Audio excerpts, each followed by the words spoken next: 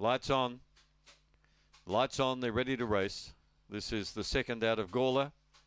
They're off, and Crazy Sal was first to break the line, going with it early. Rev up Rocco, and also pushing forward is You Magic Girl, but Crazy Sal got away by two and a half down the back. In second place, Rev up Rocco, being passed now by uh, You Magic Girl. A gap in the field, then Haggard Hank, and last of all, Hayride Rowbottom. Crazy Sal, first starter, first winner by five or six lengths, you magic girl. They're followed by Rev Up Rocco. Further back was Hayride Rowbottom, and last of all, Haggard Hank. 23-16, impressive debut for Crazy Sal, first out and first home. So the first two favourites have won here at uh, Gawler. That run home was excellent again. 14-28 coming home.